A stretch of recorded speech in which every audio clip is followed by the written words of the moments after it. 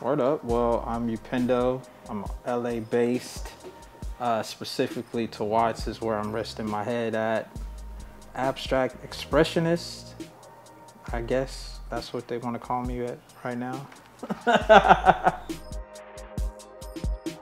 the most important thing for me as an artist was to, to create something that was unique for myself, you know? I, I kind of just let this pattern stuff work organically because I was really trying to do something that was pop art.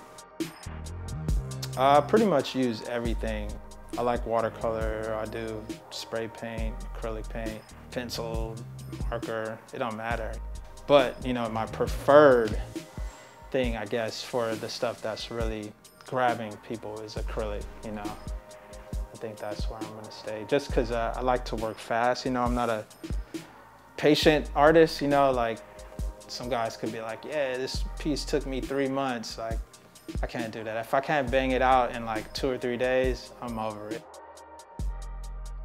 The relationship with the plant is, uh, you know, necessary. As a creative, I'm constantly, constantly, constantly thinking of things to do, things to make, and ways to get the things out of my head, right? So it's all these voices going on. So for me, like cannabis kind of quiet down the other voices in the background and let the one voice speak, you know, let that one kind of flow come out.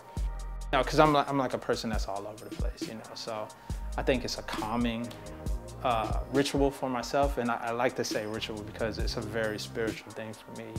Now it does, you know, bring out some inspiration for sure, but no, it's more of a, a, a spiritual connection, you know, just kind of like being able to tap into outer space real quick, you know? Other than like closing my eyes and meditating.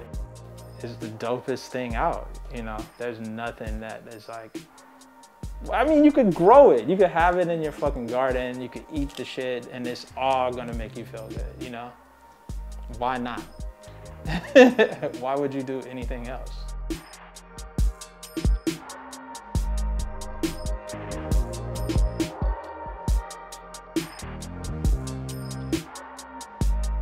Valeu!